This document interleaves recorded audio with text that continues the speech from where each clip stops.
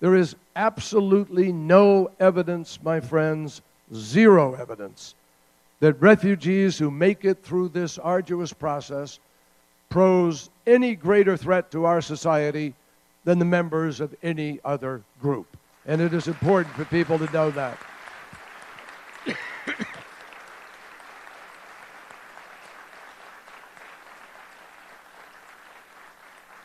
and let me be very clear preventing any group from entering the United States solely because of their race or because of their nationality or because of a religious affiliation is directly contrary to the very ideals on which our country is based.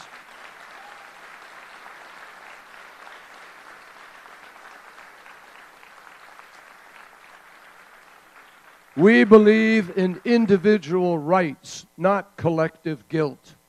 And we believe in judging people based on what they do, not the circumstances of their birth or their choice of sacred texts. Not only that, we need to remember that bigoted and hateful rhetoric towards Muslims plays right into the hands of the terrorist recruiters who propagate the lie.